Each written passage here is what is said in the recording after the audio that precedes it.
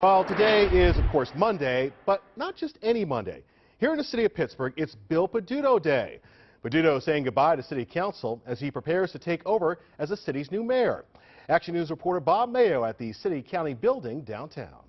As Luke Ravenstahl is quietly preparing to move out, Bill Peduto got a send-off today as he ends his days on City Council. We've learned more about how he's preparing as he takes the oath of office as Pittsburgh's next mayor next Monday. Council members declared this Bill Peduto Day. His last meeting is one of them after 19 years, first as a staffer, then in three terms as councilman. It's greatest job in the world. Maybe one better.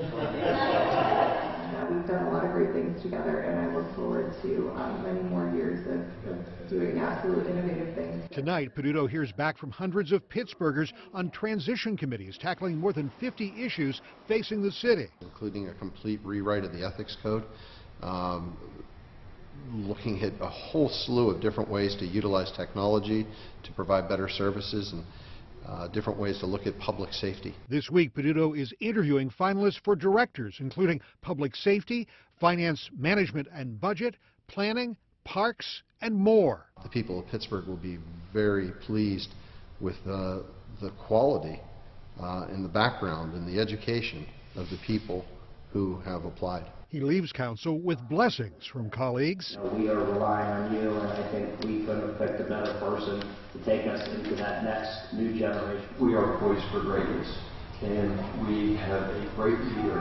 uh, at the helm to take us there. It gets tossed He's clearing out his council chamber desk and sending years of documents to the History Center. Now, in a week, I get to go through a little door at the end of this room and start another career on the other side of the hall. So I'm ready for that. His inauguration is Monday afternoon.